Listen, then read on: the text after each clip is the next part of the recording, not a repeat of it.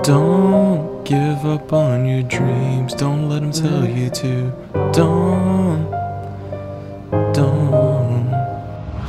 Everyone has dreams they seen in life. Some people choose to chase their dreams, while others just seem to stab them with a knife. Or they might try and just give up when things get hard. It's like they expect a free easy life card Like my dream is to one day become a known rapper Right now it doesn't seem like it's gonna happen But I don't want to just sit back and let my dream blacken think I have a chance, I have the potential. I refuse to ever give up and I think that's mm-hmm. essential. I'm not even doing it for the fame, I'm doing it for me. I've always felt like I've never done anything right. I've always felt like everything was just so out of sight. I'm not sure if it's gonna happen and that honestly gives me a fright. But all I can do is just sit here and write.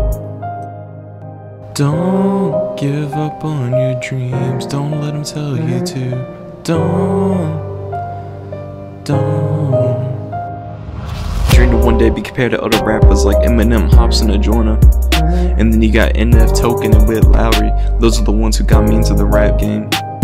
So getting compared to them would be great.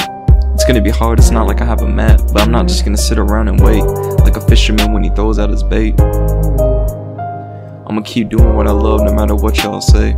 Because no matter what, I'm here to stay. I'll be up writing and rhyming no matter the date, even if it's storming and the skies are gray. I don't care if I have to stay up from day to night. Writing lyrical rap isn't like flying a kite. It takes a lot of time to make them just right. But it's gonna be worth it if my career ever takes flight. Don't give up on your dreams. Don't let them tell you to. Don't. Don't. Don't ever let anyone hold you back or tell you what you can and can't do. Just follow your dreams until they come true. Like when I wrote my first rap, I just knew this is what I wanted to do. But I'm not worried about being famous. I just want a few people to put me on the playlist. That's who I'm doing it for. And if you're one of those people, I want to thank you. So I got one last thing to say.